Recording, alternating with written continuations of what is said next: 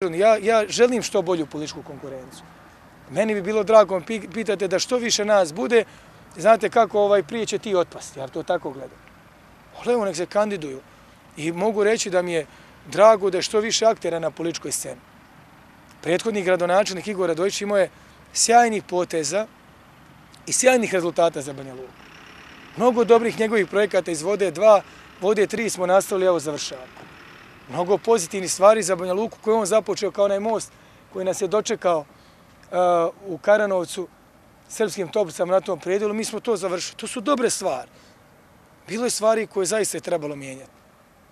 U njegovom mandatu uh, politički protivnici zbog cijelog ambijenta odeš na trg, odmah ide komunalna policija. Danas ona ako ode na trg krajine da skuplja uh, potpise za svoju kandidaturu, ili ako bude skupljao potpise, ne znam, za neku svoju inicijativu, ja mu garam da će moći biti na tom trgu. I to sam smatrao da treba promijeniti.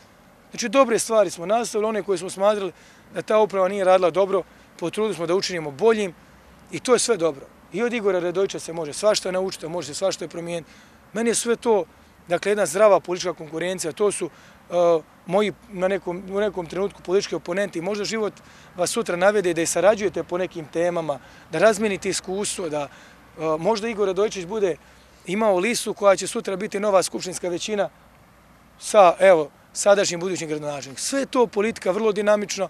Ja sam otvorenog uma da sve to prihvatim, da to sagledam pozitivno i na kraju da stvaram jedan ambijent gdje, gdje je cilj politike da imate što više saradnika, potencijalnih, sa kojima možete realizovati projekte. Evo, njegov povratak u politiku, moram reći da, ako je to istina, vidio sam i taj intervju, me, me raduje.